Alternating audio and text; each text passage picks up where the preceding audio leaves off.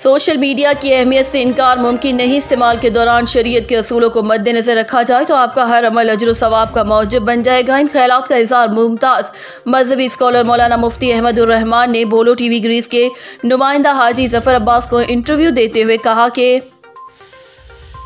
इस इस वक्त ज़राए अबलाग का बहुत बड़ा ज़रिया मीडिया है।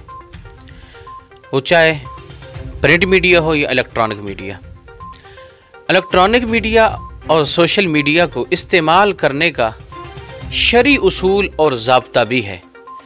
मुसलमान होने के नाते हमारा फ़र्ज़ बनता है, जब हम इस मीडिया को इस्तेमाल करें, सोशल मीडिया है, प्रिंट मीडिया है, हम इस इस्लामी उसूलों को मद्देनज़र रखें तो यकीन जानिए आपका वो उस मीडिया को इस्तेमाल करना ही इबादत बन जाएगा।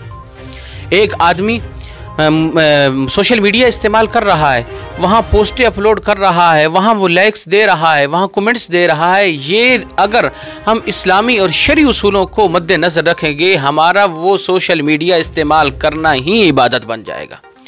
जब भी हम सोशल मीडिया को देखें, उसमें चंद चीज़ें मद्देनज़र रखनी चाहिए, और वो इस्लामी हैं।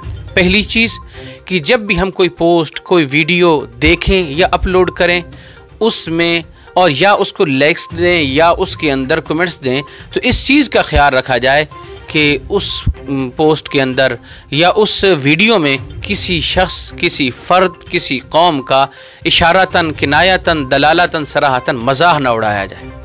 उसमें और मजाह ना उड़ाया गया हो। क्योंकि अल्लाह रबुल्ज़त फरमाते हैं, या युल्लजीन आमन ला यसखर कौम मिन कौम, आसा यकून खैर मिन हम कोई मर्द, किसी मर्द का, कोई औरत, किसी औरत का मजाह ना उड़ाए या किसी कौम का मजाह ना उड़ाए। क्यों? आसा यकून खैर मिन हम शायद वो तुमसे अल्लाह के यहाँ बेहतर हो। नंबर दो, सोशल मीडिया के ऊपर। दूसरी चीज़ जो है, कभी भी इल्ज़ाम तराशी ना हो। मिसाल के तौर पे, इस्लाम के बारे में, सहाबा के बारे, सहाबा इकराम के बारे में, अहल बैत के बारे में, रसूलुल्लाह सल्लल्लाहु अलैहि वसल्लम या दीगर अम्बिया अलैहिस्सलाम के बारे में किसी किस्म की गलत बात न उस पर लिखी जाए ना शेयर की जाए। और इसमें एक चीज़ को मद्देनज़र रखा जाए कि आम तौर पे कुछ ऐसी अहादीस मनसूब की जाती हैं रसूलुल्लाह सल्लल्लाहु अलैहि वसल्लम की तरफ़, या सहाब इकराम की तरफ़, या अलिया अल्लाह की तरफ़ उनके अकवाल मनसूब किए जाते हैं। उससे इबादत समझ के हम आगे शेयर कर देते हैं। इन्हें कभी तस्दीक के बगैर आगे शेयर न किया जाए, क्योंकि रसूलुल्लाह सल्लल्लाहु अलैहि वसल्लम का फरमान है, जिसने ऐसी बात को आगे फैला दिया जो मैंने कही नहीं थी। मेरी तरफ़ झूठी बात मनसूब कर दी। हजूर का फरमान है, फल यह यतबा मकादो फिन्नार वो अपना ठिकाना जहन्नम में बना ले। मैं तमाम नाजरीन को सिर्फ़ यही दरख्वास्त करूँगा कि हम इस मीडिया को, सोशल मीडिया को इस्तेमाल करते हुए, इस्लामी उसूलों को जब मद्देनज़र रखेंगे, न तो परेशानी होगी, न ही कोई टेंशन। अब उसमें एक बात, सबसे पहली बात यह है कि उसके ऊपर ना महरम मर्द औरत की तस्वीर ना तो वो लगाई जाए, ना वो सेंड की जाए। उसके ऊपर गाली के अंदाज ना हो। आज कल ये मसला होता है, अगर किसी भी आदमी से, हमारा मजहबी इख्तलाफ है, सियासी इख्तलाफ है मसलगी इख्तलाफ है, हम जब तक मीडिया के ऊपर, सोशल मीडिया पे उसको गालियाँ ना लिख लें हमें सुकून नहीं आता।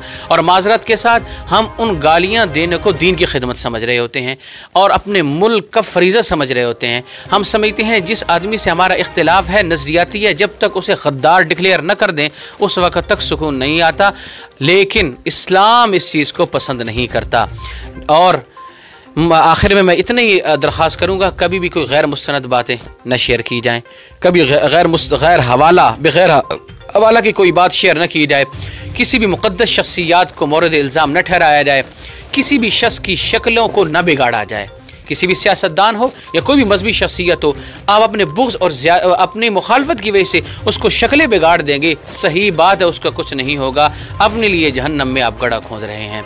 आप उसके बारे में गलत गलत इल्ज़ाम मीडिया के, की बातों की वजह से या अखबार से सुन और देख के आप जब उसके ऊपर वो इल्ज़ाम आगे शेयर करेंगे और उसकी शक्लों को बिगाड़ेंगे, उसकी किरदार खुशी करेंगे उसके ऊपर एक राय के दाने के बराबर असर नहीं होगा। अलबत् आप अपने नामा अमाल को स्याह कर रहे होंगे और अपने लिए जहन्नम का गड़ा खोद रहे होंगे।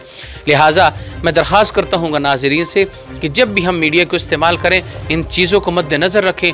यकीन से मैं इंशाल्लाह कहता हूँ, आपका ये मीडिया का इस्तेमाल इबादत भी बन जाएगा और मुआरे में प्यार फैलाने का और मोहब्बत फैलाने का सबब भी बन जाएगा।